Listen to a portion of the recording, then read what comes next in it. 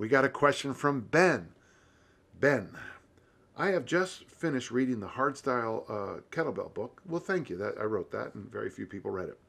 And I've added goblet squats with a light kettlebell into my warm-ups. Ben, welcome to the show. Uh, yeah, I've been recommending that now for um, well a long time, but it's great.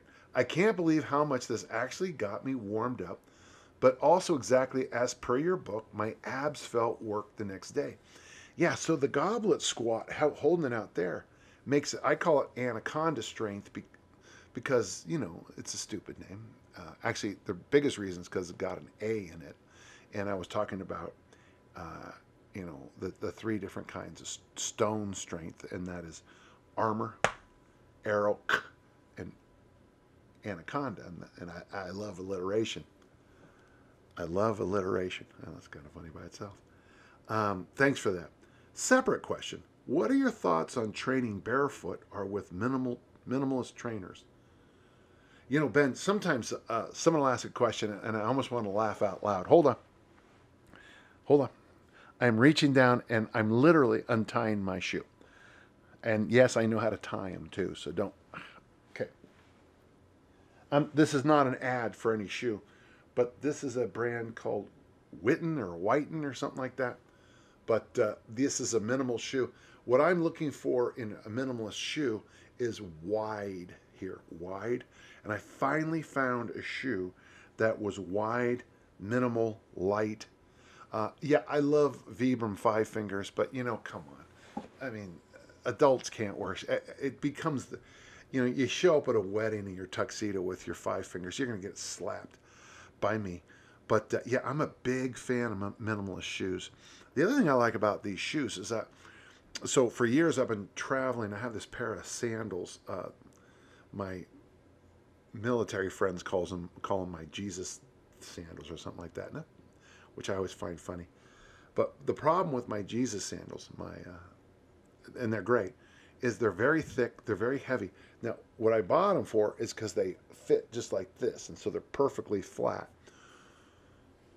But that's all you really can do is go to the beach, go walking on rocks with them. You can't really use them. But what's cool about these uh, minimalist shoes is that they're also flat. But I could, I could easily wear that to uh, on a trip, so I can bring multiple pairs of these. Uh, uh when I travel, I think it's really important, Ben, to have a pair of shoes that stink.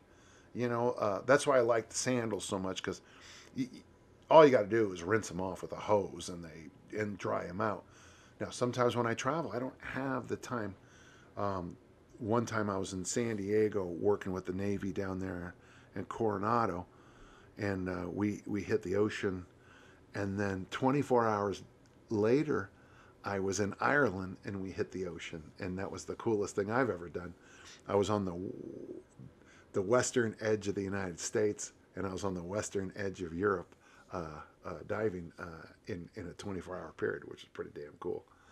Um, sometimes they don't dry as much, and and I'm sure those shoes I'm, I just showed you might not dry as well either.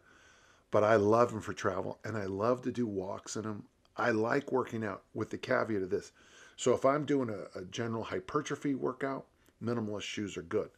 Here's the thing though early getting ready for an Olympic lifting meet, I like lifting in those flat shoes because it forces my ankles, my hips, and it's going to sound even weird to say this, but my knee flexibility, whatever that means, uh, I have to accommodate with those flats. And then as I get closer to the meet, then I put on my lifting boots with that additional heel.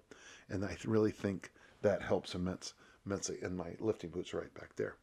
But uh, yeah, I'm a big fan of it. I like training barefoot my perfect place to train is on a beach.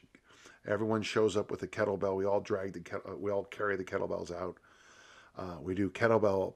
We do 300 snatches, and then we play in the ocean for an hour, and then we have a half kneeling press contest. We play frisbee. Uh, we do some, we do some goblet squats, and we hit the ocean again. And it's nice if you have plenty of food and beverage, because uh, you you know as Jerome K. Jerome said, you know, because thirst is a dangerous thing. Uh, I hope that helped, Ben. And it's again, uh, I can't thank you guys for my hundredth episode. This is two good questions back to back. In fact, I got to tell you, so far this these are the best questions I've ever had. It's scaring me, folks, because you know what happens when you hit the top.